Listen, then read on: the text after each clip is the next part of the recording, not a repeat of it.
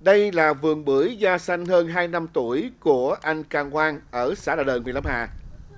Vốn cũng như nhiều bà con nông dân khác trong vùng, trước kia anh chỉ trồng lúa nước vụ được vụ mất. Khi cây bưởi da xanh phát triển tại vùng đất Lâm Hà, anh cùng một số bà con đã mạnh dạn chuyển sang trồng thử nghiệm bưởi và đến thời điểm hiện tại, cây bưởi đã bén rễ trên vùng đất này.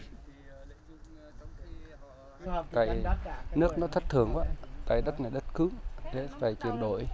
Trước kia chuyển đổi trồng bắp sau rồi bắp cũng không thu được. Tại con bò nó ăn hết. Vì vậy cũng cậu nên chuyển đổi sang cây bưởi. Thế là cũng mua giống với cũng cậu luôn để trồng bưởi. Về canh tác bưởi thì giờ chỉ phát cỏ thôi nó làm nhàn hơn với so với làm bắp làm lúa. Tại mình phát xong rồi bón phân vậy thôi. Mùa khô mình tưới.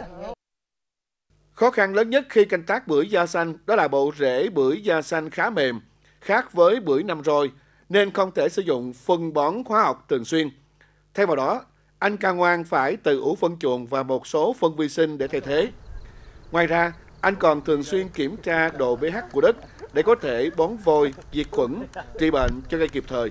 Để tiện cho công tác chăm sóc, Ca Ngoan đầu tư đào một hệ thống mương để dẫn nước từ ngoài kênh vào tận vườn, phục vụ cho việc tưới tiêu và đào những rãnh nước hai bên hàng bưởi để dẫn nước ra ngoài trong mùa mưa.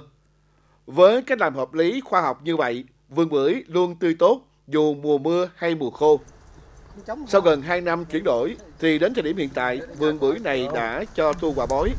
Ca Ngoan cũng đã học được cách bọc trái bưởi lại để đỡ rụng do gió bão và hạn chế tình trạng côn trùng chích hút phá hại.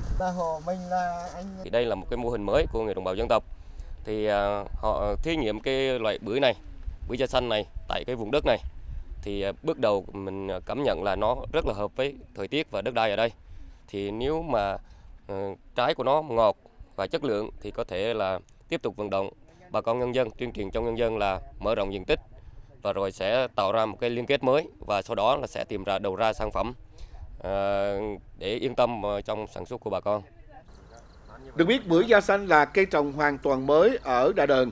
Vì thế, trong thời gian tới, Ủy ban dân xã Đà Đờn sẽ chủ động mời các chuyên gia kỹ sư nông nghiệp trong lĩnh vực chăm sóc bưởi da xanh về tổ chức những buổi hội thảo chia sẻ cho bà con nơi đây để bà con có thể chủ động chuyển đổi cơ cấu cây trồng.